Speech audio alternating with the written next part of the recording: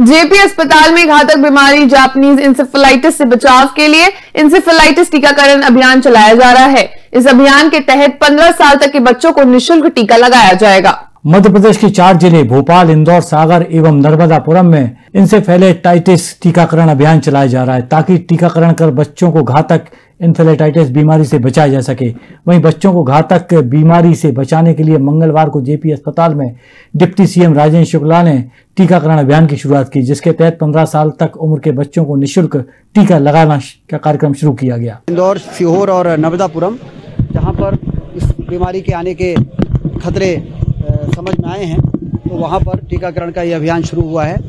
पंद्रह वर्ष तक के सभी बच्चों को ये टीकाकरण किया जाएगा। अब ये चार जिलों में, उसके बाद जो गाइडलाइन आएगी भारत सरकार के और जो हमारे सर्वे का जो विभाग है तो उसके बाद उसको बढ़ाया जाएगा।